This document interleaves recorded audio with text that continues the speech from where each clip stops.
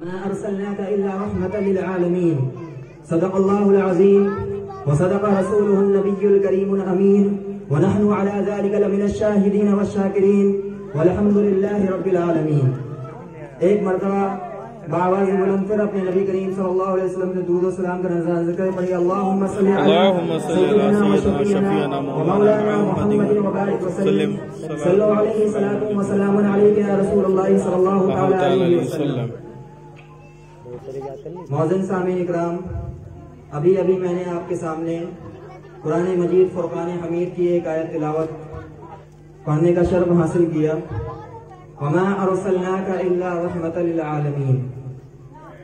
कि बेशक ए नबी, हमने आपको तमाम आलम पर रहमत बनाकर भेजा है।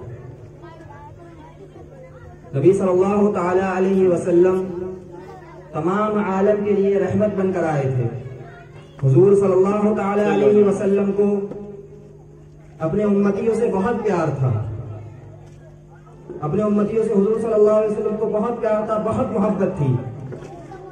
मैं आपको एक वाक्य सुनाता हूँ, इब्न माजा में भी ये मौजूद है और तिरमिजी के अंदर भी मौजूद है। एक मरतबा हुजूर वसल्लम ने सहाबा इकराम से सवाल किया ऐ सहाबा, ये बताओ कि सबसे आजब ईमान किसका है? क्या सवाल किया? कि ऐ सहाबा ये बताओ सबसे आजब ईमान किसका है? सबसे अजीब ईमान किसका है? सहाबा इकराम ने फरमाया या रसूलुल्लाह सल्लल्लाहु अलैहि वसल्लम सबसे आजब ईमान नबियों का है। नबी सल्लल्लाहु अलैहि वसल्लम ने इरशाद फरमाया कि नबियों का ईमान भला आजब कैसे हो सकता है? नबियों पर तो वही नाजिल होती है।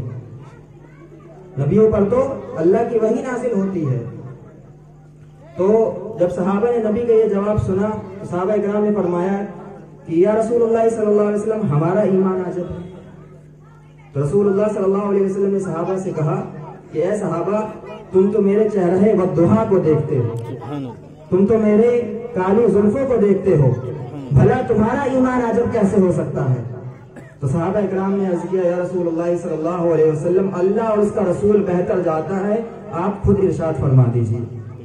रसूलुल्लाह सल्लल्लाहु अलैहि वसल्लम ने इरशाद फरमाया कि सबसे आजब ईमान मेरा उन उम्मतियों का है जिन्होंने मुझे देखा भी नहीं और मुझ पर ईमान ले आए सुभान अल्लाह सुभान अल्लाह जिन्होंने मुझको देखा भी नहीं और मुझ पर ईमान ले आए सबसे आजब ईमान सबसे अजीब ईमान मेरे उन आशिकों का है उन आशिकों का है जो महफिल मीराज शरीफ का इनकाद करते हैं और नबी सल्लल्लाहु अलैहि वसल्लम की सीरत को बयान करते हैं।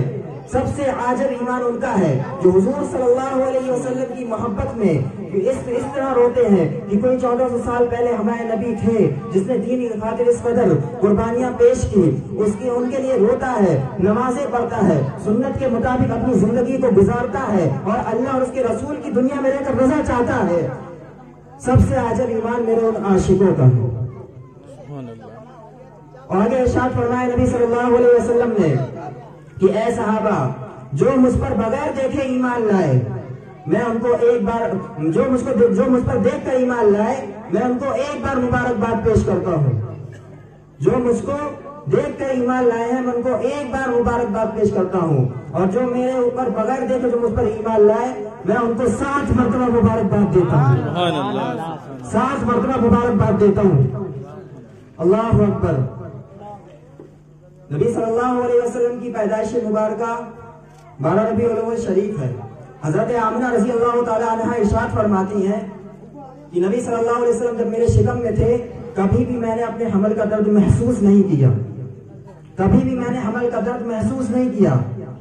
नबी सल्लल्लाहु अलैहि वसल्लम जब तक मेरे हम, मेरे शिकम में थे, कभी भी मैंने उसका दर्द, तकलीफ़ महसूस नहीं की।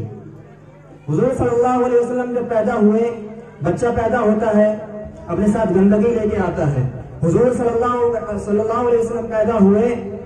जब वो पैदा हुए तहारत खुशबू चारों तरफ़ नूर ही नूर था। चारों तरफ़ नूर ही नूर था।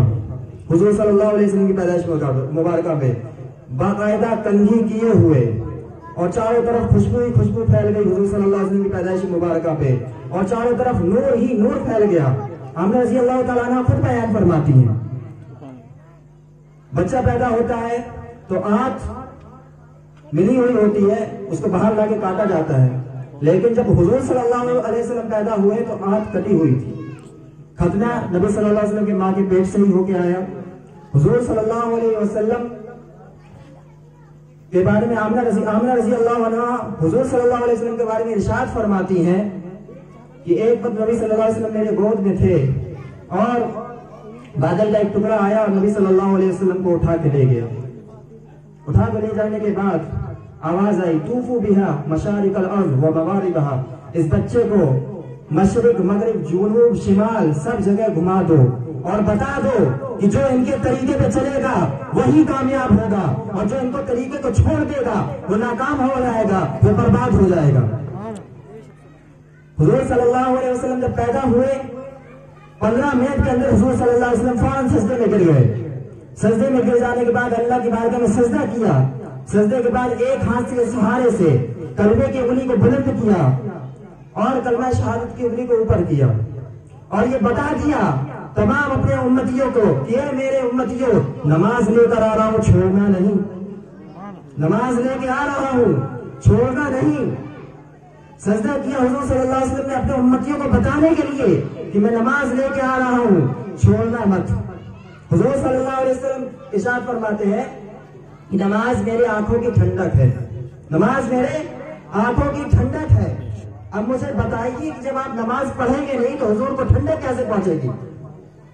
जब आप नमाज़ पढ़ेंगे नहीं तो हुजूर को ठंडक कैसे पहुंचेगी? तो इसलिए मेरे भाइयों, नमाज़ की पाबंदी करें।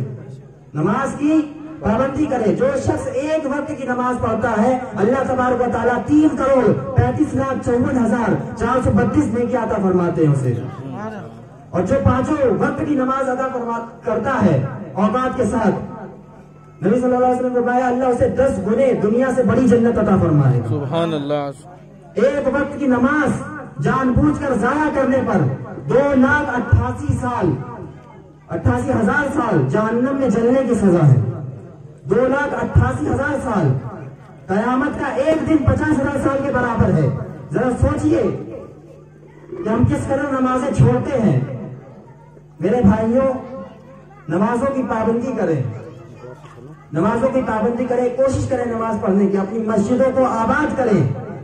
मस्जिद की खूबसूरती नमाजियों से होती है।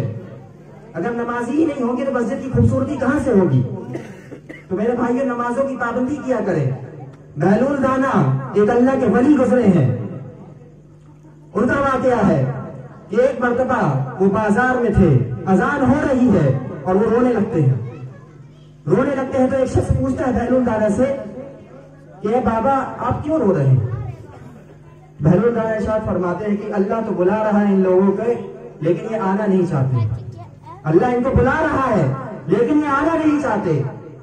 अल्लाह तो कह रहा है हैया सलाह आओ कामयाब आओ नमाज़ की तरफ़ अल फलाह आओ कामयाबी की तरफ़। लेकिन ये आना नहीं चाहते। उसके बाद, कुछ दिन के बाद, हज़रत बहलूल दाना अल्लाह के जो वली हैं, वो कब्रिस्तान पे रो रहे हैं। बहलूल दाना पहले कहते हैं कि अल्लाह बुला रहा है और ये बंदे क्या है, सुनना नहीं चाह रहे हैं। अल्लाह इनको बार बार कह रहा है, आ जाओ, अब भी मौका है। तोबा कर लो। तोबा कर लो। मैं तुम्हारी तौबा को कबूल फरमा लूँगा। कुरान में अल्लाह इरशाद फरमाता है या इबादी अल्लज़ीना असरफू अला अनफुसिहिम ला ला तक़नतू मिन रहमतिल्लाह इन्नल्लाह यग़फिरु ज़ुनूब जमीआ इन्नहु हुवल गफूरुर रहीम। ऐ मेरे नाफरमान बंदो जिन्होंने दुनिया में रहकर एक नेकी भी नहीं की सच्चे दिल के साथ तौबा करो मैं तुम्हारे सारे गुनाहों को माफ़ फरमाऊँगा। सच्चे दिल के साथ तौबा कर लो मैं तुम्हारे सारे गुनाहों को माफ़ अदा फरमा दूँगा। अल्लाह की रहमत से कभी ना ना उम्मीद ना होइएगा मायूस ना होइएगा। एक करोड़ बार भी तौबा टूटे, आप तौबा करिए, अल्लाह माफ़ फरमा देगा। अल्लाह माफ़ फरमा देगा। बहरहाल दाना उनसे कहते हैं कि अल्लाह बुला रहा है, लेकिन ये आना ही नहीं चाहते। बार बार कह रहा है, लेकिन ये आना नहीं चाहते। कुछ दिन के बाद पहलू दाना कब्रिस्तान पे रो रहे होते हैं। बहुत रो रहे हैं। फिर वही शख्स देखता है, कहता है, बाबा, आपका भी अजीब मामला है। पहले बाज़ार में रो रहे थे, अब कब्रिस्तान में रो रहे हैं। पहले क्या मामला था? कि अल्लाह बुला रहा था, आ जाओ मेरे बंधु आ जाओ मेरे बंधु कोई आना नहीं चाह रहा था। अब कब्रिस्तान पे बहलूल दाना रो रहे हैं बहलूल दाना कह रहे हैं कि अब ये रो रहे हैं, लेकिन अल्लाह नहीं मान रहा। सोचिए जरा। अल्लाह के वो वली कहते हैं कि अब ये रो रहे हैं कब्रों के अंदर, लेकिन अब अल्लाह नहीं मान रहा। तो जरा सोचिए मेरे भाइयों ज़िंदगी में रहकर अल्लाह और उसके रसूल को राज़ी कर लीजिए। जब तक ज़िंदगी है, अल्लाह और उसके रसूल को रहकर राज़ी करिए। सुन्नत के मुताबिक ज़िंदगी को गुजारने की कोशिश करिए। दाढ़ी रखिए, नमाज़ पढ़िए, सुन्नत को सीखिए, अपने बच्चों को इतने दीन सिखाइए। अपने बच्चों को मदरसे में तालीम हासिल करने के लिए आलिम साहब के पास भेजिए।